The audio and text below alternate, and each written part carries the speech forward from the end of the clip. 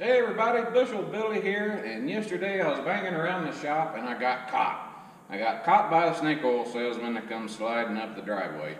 And not just any snake oil salesman, this was Jake the snake oil salesman. Top selling snake oil salesman in all of Michigan. Drove all the way down here to the Garden of Eden because he knew we were having a rough start.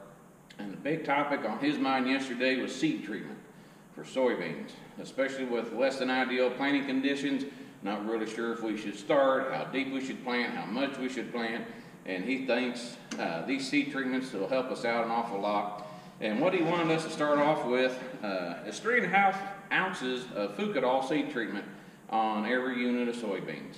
And then we're going to inoculate them with a full rate of Sindit.